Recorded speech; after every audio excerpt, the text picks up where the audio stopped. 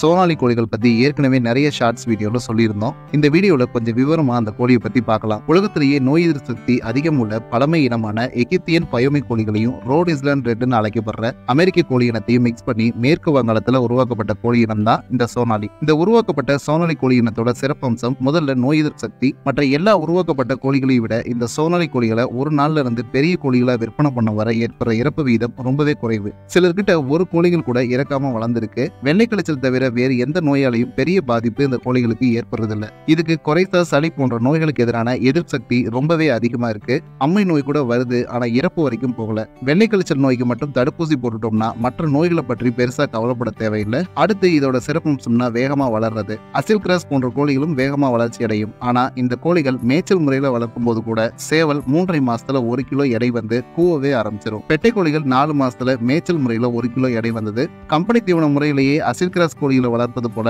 பண்ணையில வச்சு வளர்க்கும் போது ரெண்டரை மாசம் முன்னதாவே ஒரு கிலோ எடை வந்துடும். இன்னைக்கு கறிக்கடைகளில் பெரும்பாலும் இந்த ஒரு கிலோ எடையுள்ள கோழிகளை அதிகம் விரும்பி கேட்கறதால இதோட விற்பனை வாய்ப்பு எளிதா இருக்கும். அதிகபட்சமா அந்த சேவலுடைய எடை இரண்டு கிலோவும் பெட்டை கோழிகள் ஒன்றரை கிலோ வரையும் வளரும். அடுத்தது நம்ம எந்த கோழி இனத்தை பண்ணை முறையில வச்சு வளர்க்கும் போதும் குஞ்சுகளா இருக்கும் போதே கொத்திக்கிற தொந்தரவு அதிகமா இருக்கும். நீங்க ஒரிஜினல் நாட்டுக்கோழி அதிக எண்ணிக்கையில வளர்த்தாலும் இந்த கொத்திக்கிற தொந்தரவு அதிகமாவே இருக்கும். ஆனா இந்த சோனாலி கோழி குஞ்சுகளை இது வரைக்கும் வாங்கி வளர்த்தவங்கல நானூறு குஞ்சுகள் கூட ஒரே இடத்துல விட்டு வளர்த்திருக்காங்க.